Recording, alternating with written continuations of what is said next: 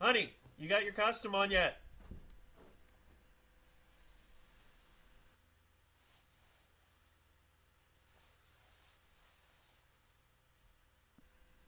Seriously, come on. We're gonna be late for the party. Okay, seriously, you call that sexy cat?